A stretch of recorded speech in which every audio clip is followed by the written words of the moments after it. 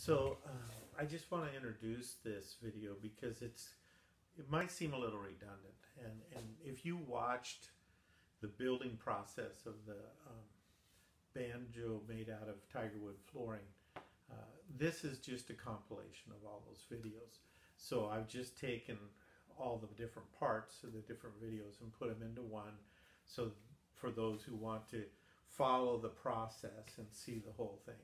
Um, so if if you've seen it and you're, you're you know I'm just warning you ahead of time it's kind of a re rerun. But uh, it's a good rerun and it ties things together. And at the very end of it I'll I'll show the the finished product. Thank you.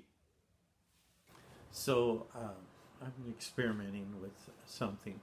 First of all I have never tried to document the process of a build uh, before on an instrument and so that's new. And I am going to experiment with hybriding a mountain banjo, uh, which isn't really that complicated. It's the same basic design. I'm just going to make the, the skin an 11 inch uh, sound pad, a tone ring, instead of a 6 inch tone ring. Um, so it's just going to be bigger. And part of that is I have in my hand an old uh, Bakelite banjo rim that had gotten broken. And so you can see it's broken. And it's uh, Bakelite is basically a plastic of resin, and uh, it's just not something I've had luck repairing and using. And so I I just figured out how to bypass it on a different banjo and made one out of plywood. But it occurred to me that this would be ideal for a tone ring inside a mountain banjo, which makes it bigger. And my theory is it will give it a deeper tone. And I'll be making that out all out of hardwood and, and kind of showing the process as I go. So first of all, my first step is I'm going to go over to the bandsaw and remove this flange which is used to hold hooks for the tension uh, ring and, to put tension on the skin. And mountain banjo does it differently. So all, essentially, all this is is a tone ring that pushes against the skin. So I think I can. My theory is I can super glue the crack because it won't be under a lot of pressure, and um, make it work that way. We'll see. To continue this build. Uh, that I'm doing. I I've made well over 20 different instruments. I've made guitars and the mandolin and um, dobro and lap steel, electric guitars as well as acoustic, uh, baritone, um, stand-up bass, all kinds of things, and and quite a few banjos. And um, I have never ever tried to document the process before. Uh, maybe it's because I never thought it'd work out. I don't know, but I just haven't. And so I thought I'd just that's that's what I've been doing. Now I've been a little busy, and I chose to work with tiger wood, which is a ultimately is a very it will be a beautiful wood, um, but I don't recommend working with it as a general rule. And I knew that when I started that um, I've worked with it before um, I made a six string banjo and part of it is tiger wood and it's it's beautiful. But tiger wood is real brittle and it cracks easily. It doesn't like routers. Um, you know it, it, saws well and it sands okay and, and everything. It's a little harder to shape that way. It's got a lot of oils in it it seems like so it's a little harder to to glue. It's called tiger wood because these beautiful stripes that it gets. And um, they are beautiful, and every one of those beautiful stripes is a weak point waiting to cause problems. And so I knew that. And you'll see this if it worked. If it doesn't work, you won't see this. So what I've done, I'm working on. Um, it's a hybrid between a regular banjo and a, and a mountain banjo. And uh, you've seen my mountain banjo before. I decided to make a bigger skin ring and it, as I mentioned, I started with this uh, Bakelite. Uh, I think it was a Harmony product uh, back in the day. It's a banjo rim. and I cut the, the flange off that held the the tension hooks so I can fit it through here to make tension. And so it will cause tension on a natural goat skin, much like a mountain banjo does. So what I've done in the process is I've glued my tiger wood together, cut out a circle shape for the front, and and work glued the neck in here. And you'll see um, this steel rod. That's not a tension rod. I've put tension rods in uh, other instruments. Um, most recently, it was a six-string uh, banjo for someone else, and um, there's a splinter. So, uh, but but I went ahead and um, I chisel. I use a quarter-inch chisel, and I made this groove. And this is a stainless rod, and I just put it in for support and strength. That's all it is, and it'll get glued in under the fretboard. And then you'll see I glued my extra piece of wood on the back because I'll cut, uh, you know, a 15 degree angle into this um, to keep the strings to have good tension. So, so that's going to be the front. And then um, I just finished making a fretboard for it. And so um, this is also tiger wood. and so it's a 17 slot, uh, 17 fret fretboard that I made. Um, just slotted it by hand with, my little hand saw for, for making fret slots. And I mark it with a square and just saw straight on the line. And that will go over the truss rod. So you see the truss rod. This will glue over it. That's how instruments are made and it glues over the truss rod. And it'll give me a little bit of, not much, but a little bit of a scoop there and um, once I get that all in place, um, I will have already cut out my 15 degree angle. Then I'll start shaping the neck. And now the other thing I've done is I got busy with some plywood and I, it's three different pieces of plywood and I laminated them together. They're in a circle. And the purpose of that, and none of this is sanded yet, it will be, is that it will glue on to the front of the banjo. And, and that just gives me the right depth for this ring. So you can see that this it's the perfect depth for the ring to push against the natural goat skin. And so that's what I'll be busy on very soon is sanding this. I'll get this all sanded smooth. Then I'll laminate it onto the banjo and then I'll sand this to, to meet it. Now what this is going to get, it's not just going to be ugly plywood. It's going to get some of this veneer on here. And the big question at this point that I am undecided on is will this veneer, uh, will I keep the veneer natural or will I stain it some sort of red mahogany or cherry? And uh, so natural kind of compares to the, the wood like that and um, once it's sanded, it, this looks pretty light, but once it, as it gets sanded and lacquered, it it changes. So um, that will that will come up against this. So I'm working on that decision. This isn't the, isn't actually the piece I'm going to use. This is a scrap uh, because now my next uh, step will be to um, stain part of it and make a comparison of which I like best. And um, everybody has their opinion about that. Uh, I tend to always go natural if I can, um, but occasionally um, I'll stain something. And part of it is I uh, I'm kind of opting for making the whole instrument darker, and that's that's why I'm thinking in terms of a stain.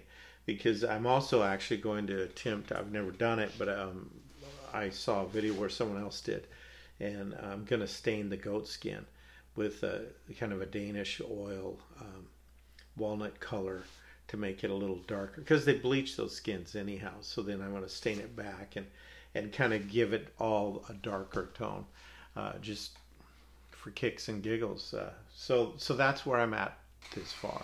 Well. Hello. So I'm continuing to document the process of this particular banjo build. And one of the things I didn't mention before, one of the reasons I'm using the Tigerwood is it was readily available. I uh, I have a friend who is a mental illness. He's a wood hoarder. And it's my ministry to use up his wood. And so he actually had gotten a hold of a bunch of flooring.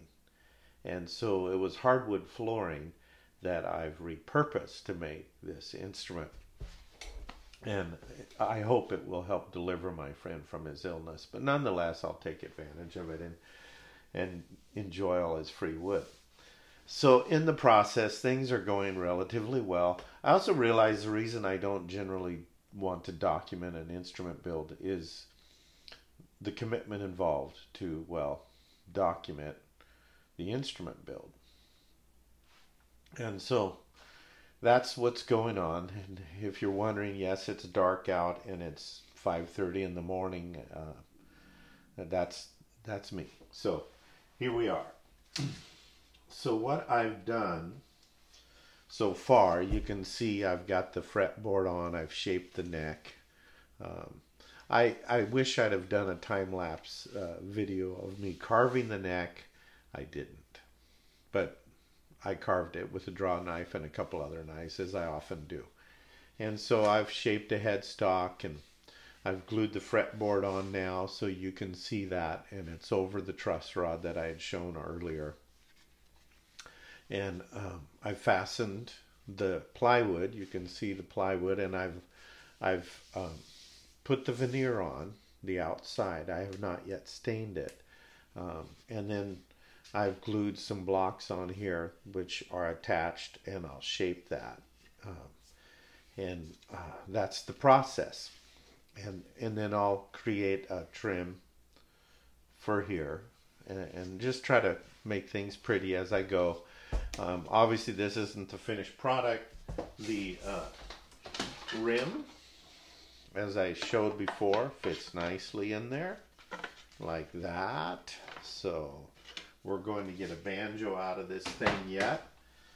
And I made a back, as you'll recall, um, a back has to go on to this to push the banjo rim against the skin. Um, that's how the mountain banjo works. And so rather than using tension hooks. So um, Tigerwood, I think the middle is, is a type of cherry. The Tigerwood came uh, again from the flooring. I think this this piece is from a dismantled organ, and and then I cut the Celtic cross into it just um, for aesthetics, and it goes on the back like this. And it will fasten on and push on that rim so that the rim can fit in like that. And then the natural goat skin will will go over it, it um, looking at it here I think boy it'd almost been nice to put a clear skin on it which I did on the six string banjo but I'm I'm opting for the sound I get out of the natural goat skin. So um, that's really how that works. So that's where we're going. And I did uh, play around with some stain. Uh, so here's the difference. I've this is the natural uh, veneer, and this is stained with a red mahogany stain, and that kind of matches the tiger wood. I I'm leaning this direction and what I'll do next is I'll shellac these two samples to really compare them to um, to what I want to do. But I kind of like that uh, against the Tigerwood versus the natural because, as I said, I'm opting for a darker tone so you can kind of see what I'm talking about. So that's where we're headed. And I hope you're enjoying this process. Uh, I enjoy building them. I'm not so sure how much fun it is documenting it, but I'm doing it now. I wanted to take a minute and show you where I'm at on the banjo build. Uh, just as a side note, uh, if you like working in your garage on wood and you haven't thought of this, um, this is a box fan, just your ordinary box fan that you buy cheap at the store. This one was old and worn out. Well, not really worn out, but old and not really fit for the window or what have you. And I taped a um, 20 by 20 furnace filter over it and I turn it on high and while I'm sanding it sucks the sawdust into that and of course I have the window open when I'm doing that and that tends to help. I also always wear a respirator and things like that. So where I'm at on the build, the first thing I'll show you is I made this walnut tailpiece. Now this just has grain sealer on it. It's not finished. Um, and, and that will go on the instrument here to hold the strings. And I've made tailpieces in the past and, and they work fine, although I have had one fail and, and crack. And it, of all things, that happened to be made out of tiger wood, hence the walnut. Um, it I had it strung up and it was a nylon six string and I'm playing and it sounded great and I played for a couple days and all of a sudden wham bam and it cracked and strings went everywhere so it was it didn't cause any harm but it, it uh, sure boiled my potatoes so um, where I'm at on this I have grain sealer on it um, you can see and I got some trim uh, that's not inlay it's it's a decal but when you get it uh, if you get it under your varnish, it it really blends in and looks very much like inlay. In fact, a lot of people have thought that it was. Uh, I'm too lazy to do inlay. Well, I, I could. I've done bindings like this before. Um, I had mixed feelings about running a router in the tiger wood to put binding in because it doesn't always route that well. So I opted for this and I've got the back on. It's only held on right now by two screws. Um, the the plan at this point, so you can see I've shaped everything, and I've I do have frets in, and they're taped uh, because I I kind of wanted to do my fret job before I finished my sanding and all the work, and uh, so I, I did it that way. I don't recommend that you do it that way. I chose to. I, am quite happy with that. But uh, you'll see I did go with the red mahogany stain on the veneer. I think it goes well with the tiger wood. Um, and I, am happy with that choice. And uh, what I have left to do, I have a lot of things left to do. I have to drill a hole here to put the chanterelle tuner in. I have to drill holes in the headstock to put the four tuners in. Um, I will at some point mount the tailpiece. My plan for that though is to get the nut made and um, have strings lined up so I get the tailpiece in the perfect position. And so that's part of why it's not on yet. And the real focus of my time uh, th- that's coming is uh, I'm going to need to sand this uh, flush. It's pretty close, but I want to sand it smooth and flush to uh, the sides and smooth and flush here and uh, actually, before I do that, it's only held on by two screws. I'm going to put the screw pattern in all the way around and have it fastened on while I work on it. And that way, if I hit this and I take off some grain sealer or scar- scratch the grain sealer it, on on the this part, it won't matter because I'll I'll refinish it. I'm going to put lacquer on it uh, ultimately. But this needs a lot of work. I'll have to sand all of this smooth. I'll have to work around the Celtic cross and file and, and sand in all the nitty gritty places and try to make it uh, the way I want it to be. And we'll see how that goes.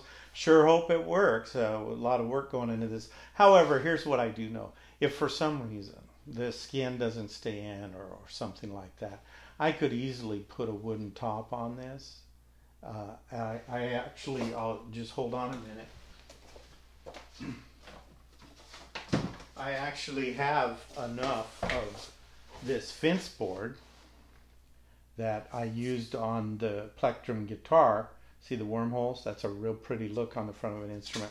And I could put that on there if for some reason it doesn't hold the skin like I want it to.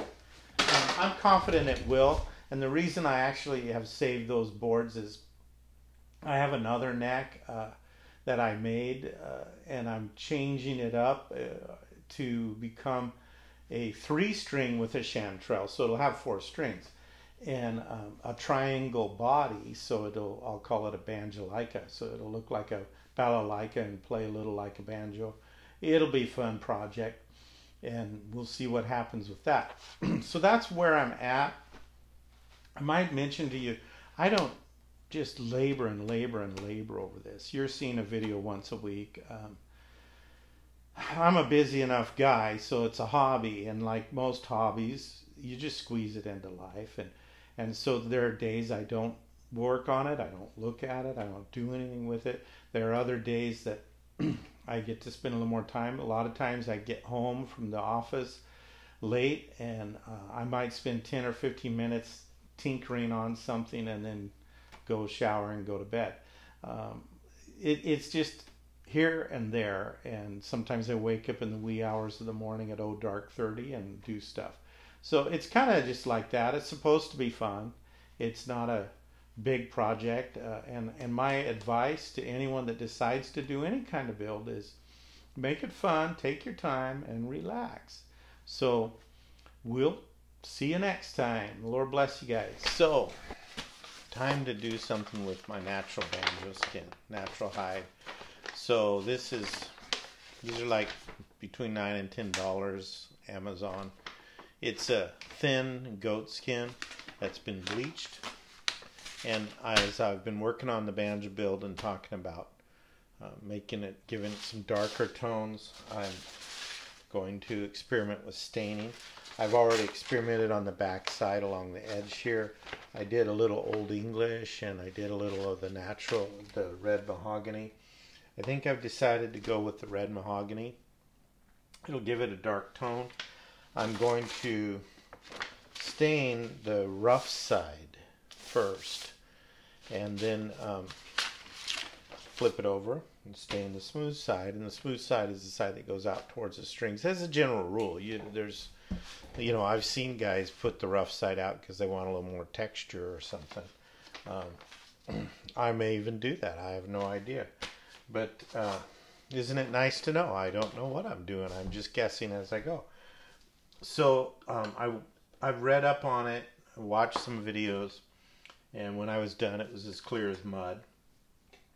So I've decided to go for it. Now I'm wearing rubber gloves because here's how you figure out if a stain will work on goat skin. If it will stain your hide, it will stain a banjo hide.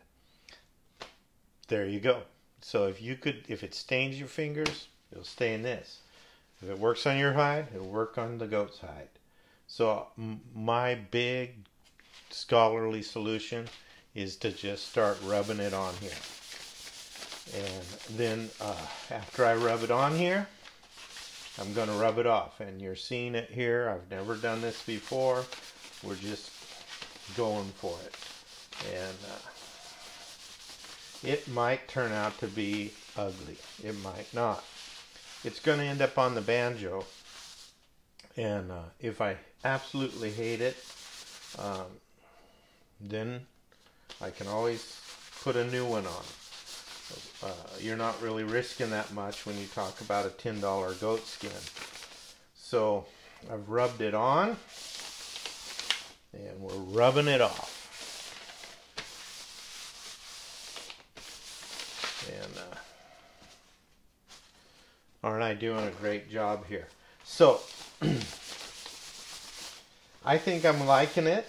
Honestly, I think with the tiger wood and everything, that's the back side. Uh, this is the front side. I'm going to rub a little on the front too. And the idea is I'm going to leave this overnight because to install it, I have to soak it in water for 20 minutes, warm water. So I want the stain to dry in there and and and thoroughly soak in because I, I expect I could possibly lose some of the colorization. Um, well, I like the smooth side, and uh, I could lose some of it as I soak it, and so on and so forth. So I don't know, but here's here we are staining a banjo hide for the very first time, and you can see it's super complicated.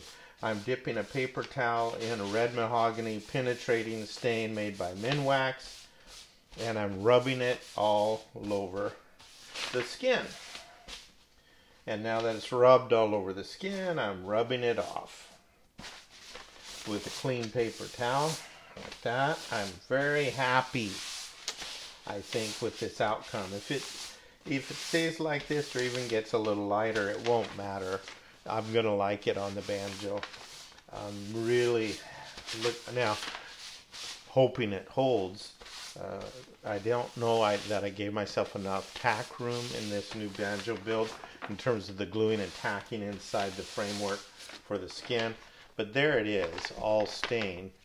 Um, and yeah, it's it's kind of streaky and it's different colors in different spots and it's darker and um, I think that's going to be just a really fun look when I get it on the banjo and strings and all of that and um, I haven't even looked at the set of Aquila strings I've ordered that came um, but I can tell you on the on the other set that is on the mountain banjo, I use a medium. I just like a little more tone and power in them. I use a medium, and the D string on the medium is brown instead of white. The other strings are white. So there's a fun thing. It goes with everything else we're doing. So there it is. I'm just going to leave it laying here on this cardboard. And, uh, you know, in a couple days, we'll be putting that on. So thank you for showing interest, and that's how to stain a banjo skin from my perspective. And honestly, I don't see any reason to make it harder than that.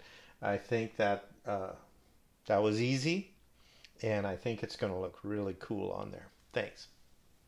So that was the banjo building process, and this is the finished banjo. Uh, you can see uh, the cushion is there uh, to absorb some of the sound that it makes. It's actually pretty efficient, has a lot of volume and power, and it plays quite well. There's the headstock and everything. I'm quite happy with it. it sounds like